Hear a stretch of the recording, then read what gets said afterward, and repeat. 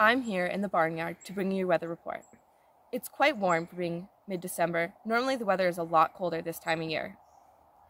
The wether is quite wet today, so he is sporting a raincoat. Is inflation affecting your chickens? Look at the picture of the eggs we used to get versus what we got today. In other news, there's been a huge increase in aggressive roosters. The question is do they have the right to stand their ground? Up next, are your cats watching too much TV? Should you be limiting their screen time?